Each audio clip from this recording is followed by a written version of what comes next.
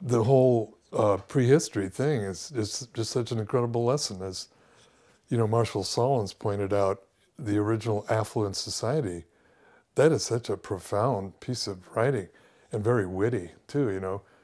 Well, you know, he compares the modern businessman and the Paleolithic guy, and he says, well, the Paleolithic guy loses on every count. He's just a big loser. Productivity, output, he, he doesn't even he doesn't even show up. But then he says, as you probably know, he says, well, if your needs are met,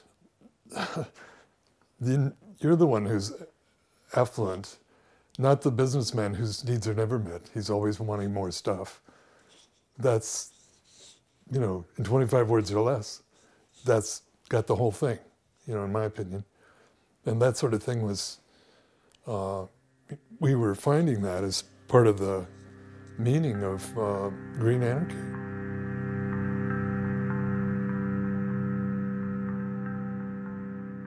I was thinking about this, uh, the origin of, of, terms, for example. I mean, it was more, uh, green anarchy was the more general thing that uh, some of us were into, and that's the name of the magazine too, from 2000 to 2008, which is quite important, I think.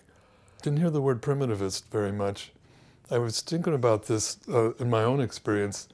I was driving around in the Bay Area with a friend of mine in California back in the 90s, don't remember what year, and he told me this term, futur primitif, the French, future primitive, and man, I immediately stole that. It just seems so apt a term, future primitive, and and then that started to be a little more current, you know. And now it's just primitivist. Uh, of course, it it means anarchist uh, primitivist, but uh, and the simple idea is, if the future isn't somehow primitive, there ain't going to be a future. Period. And now you'd think that's even more obvious that, that, that point, you know, is, is clearer, but it just to me seemed like, wow. And then the rescue of that term or the valorization of that term, primitive, what is primitive, you know, that's been a whole thing. And to me, discovering the anthropology of it, you know, in the 80s, just by accident, uh, it's such a wellspring, you know, such a dominant thing, seeing the indigenous dimension not only in the Paleolithic sense, but in the in the current sense, you know, native people, and also in terms of the genesis of this stuff. In the UK, there was a publication called Green Anarchist, before Green Anarchy, and not everybody was aware of it. Some people I know and uh, were well aware of these people in England, and they were persecuted. Some of them were sent to prison. That was a certain link. In other words, that's sort of started up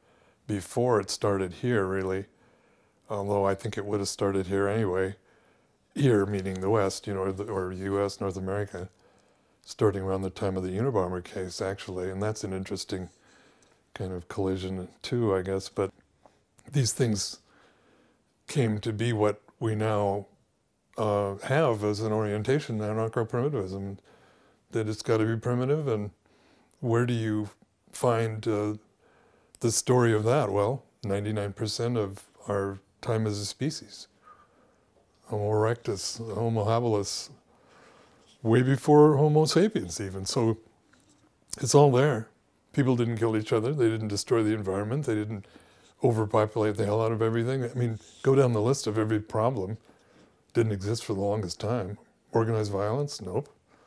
It just sounds like anarchist utopia. You write it down and think of what you want and I used to bring this out, and I remember people being very skeptical. I remember this one kid at school in Portland, he came back down for something or another, and he stopped me and he said, you know, I'm taking anthropology. And the instructor said exactly what you said. Yeah, it's just orthodox anthropology, archaeology now, as as you and Jamie and others know. I mean, it's, it ain't some esoteric cooked up by uh, uh, anarchist characters Of course, we're taking it further in a sense, you know, in terms of the future, but but not the real goods. And that's one of the odd things today. If I, if you don't mind me rambling on a little more, the the book uh, "The Dawn of Everything" by the Davids. Jamie is hot on the trail of that. We I've reviewed it uh, too, but he's doing the real job. Now it's the left comes around to rescue civilization. Hmm, wow, how did that happen? Well, for one thing, they've never been anything but pro civilization, pro domestication, pro industrialization, uh, the whole nine yards. So why why be surprised? Look at Noam Chomsky. He's the biggest champion. You know, we got to have more factories. what if factories are the problem? Look look what it's brought. And like, it's just a suicidal path. I mean, can't you see that? I mean, anyway, that's so it's just kind of naturally, I think, you know, become a somewhat coherent uh, outlook. It's often the case that one thing does lead to another. Maybe the small steps can uh, be energizing and show that, hey, it's pretty cool. We don't have to stare at the screen all of our waking life, you know.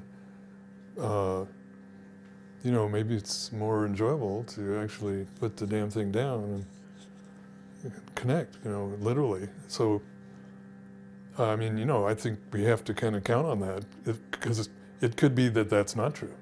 I mean, we hold on to our humanness by some sense of community uh, to strive for, at least, and but everything militates against it, as we know. I mean, it's uh, everything is at a further remove.